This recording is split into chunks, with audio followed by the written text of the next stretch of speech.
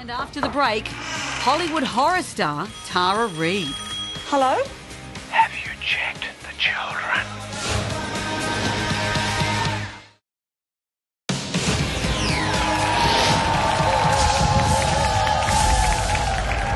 Welcome back to the unliving room. Now, if you're just tuning in, the wardrobe department hasn't gone insane. We're meant to be dressed like this.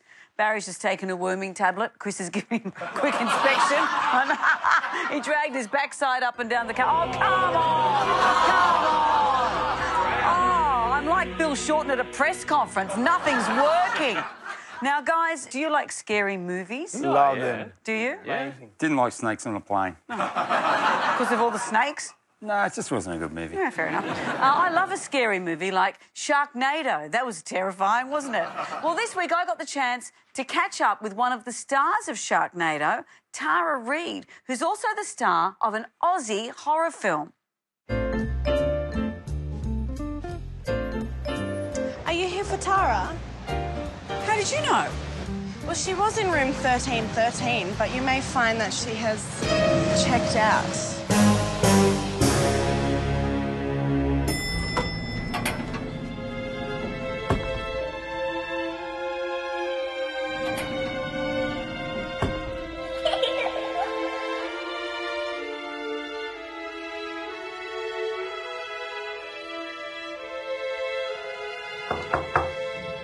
Tara?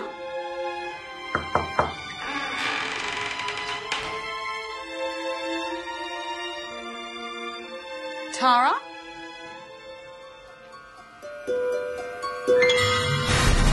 Tara?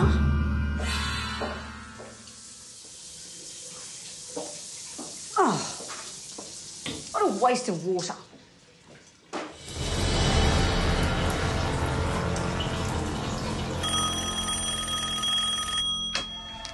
Hello? Have you checked the children?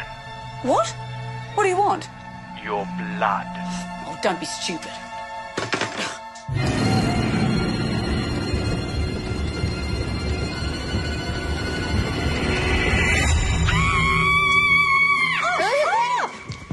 Oh, sorry.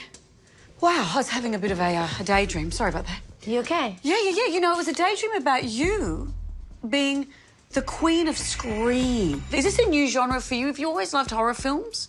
I've always loved horror films. Actually, my first horror film was when I was seven years old. It was called A Return to Salem's Lot.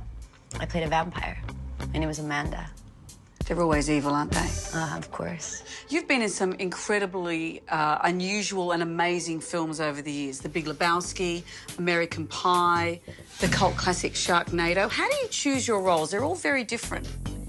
You know, it's it's funny. It's not necessarily that you always choose your roles.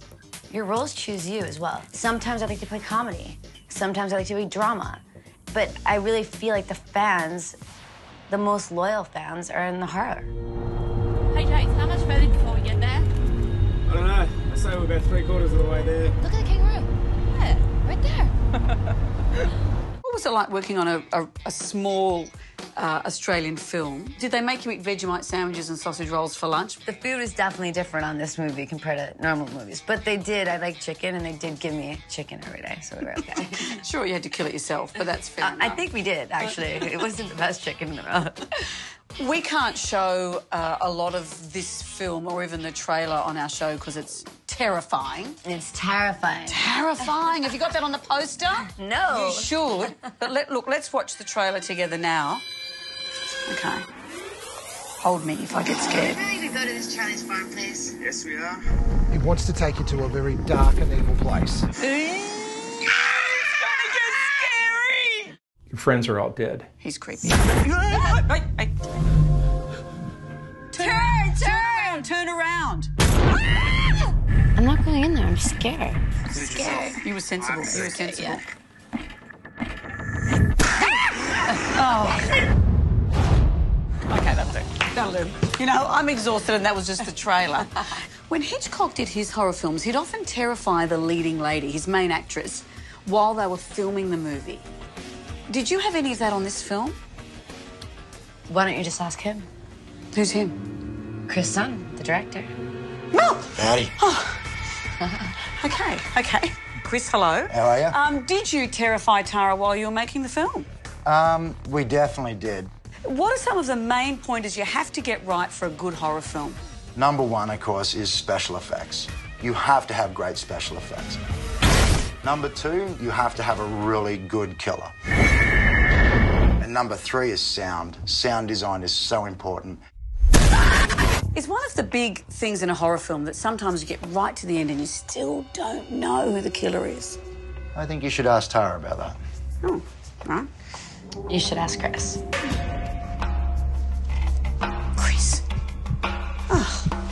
It's been great. Thank